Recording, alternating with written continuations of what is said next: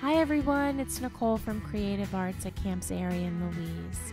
Now that we have all of our materials ready, we're going to go ahead and learn some simple tie-dye techniques.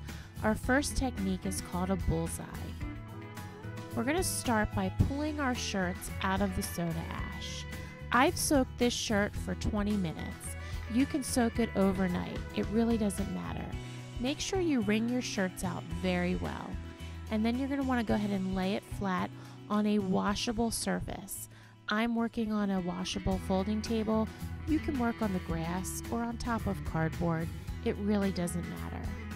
Go ahead and grab your shirt top and bottom, pulling straight up. You can grab it at any place on the shirt. Um, I did this one in the center. Once you have your shirt in position, you're going to start with your rubber bands. I'm going to go ahead and make several segments of fabric. And as you see in the video, I'm leaving an ample amount of fabric from the shirt in between each segment.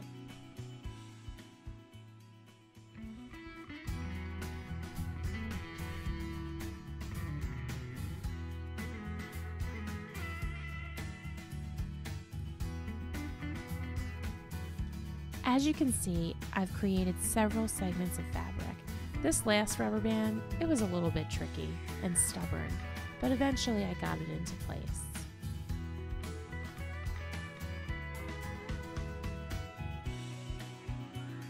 Now that all the rubber bands are in place and I'm happy with the segments, we're going to get started with our dyeing.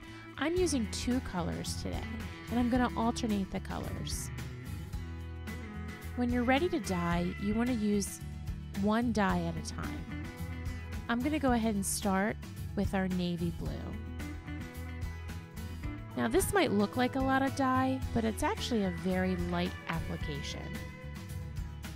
It's really your choice how much dye you choose to apply. If you want to really saturate and have a very bright effect, go ahead and use more than you think you'll need.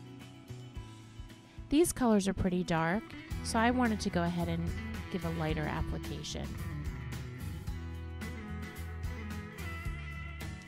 Now that I've tie-dyed the first side, I'm going to go ahead and flip it over and I'm going to apply the same colors to the same segments on the reverse side of the fabric.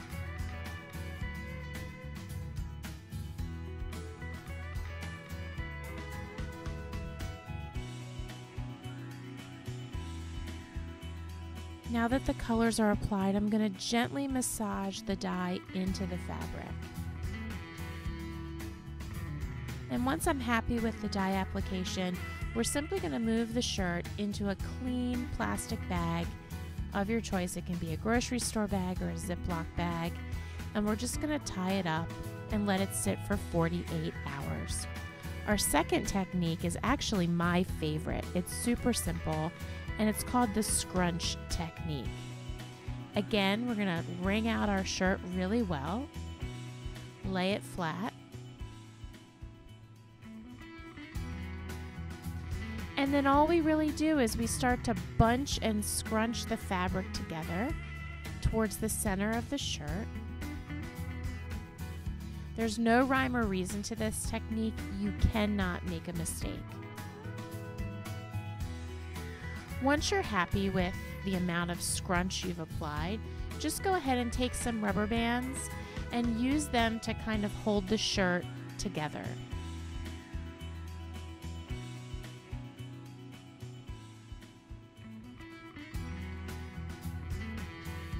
The number of rubber bands you use is not is irrelevant.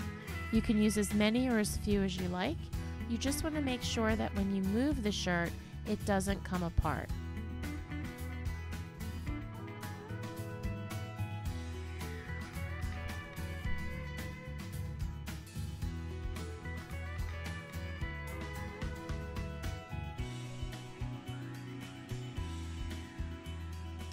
Okay, I think we're ready to dye the shirt now. I'm going to use the navy blue, and it looks like I'm adding a lot of tie-dye to this shirt. In actuality, I'm really not.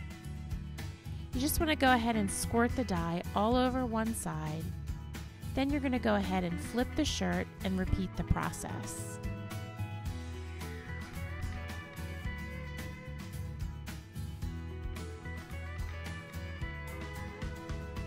You can do this technique with more than one color.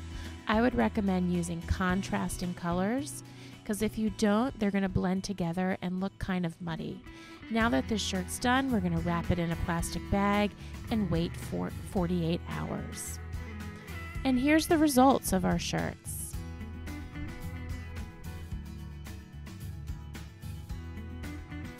On the left, you'll see the bullseye, a very simple technique that anyone can do. And on the right, you'll see the scrunch technique. I hope you guys try these at home and please send us your pictures wearing your tie dye shirts. I'll see you next week for a new technique.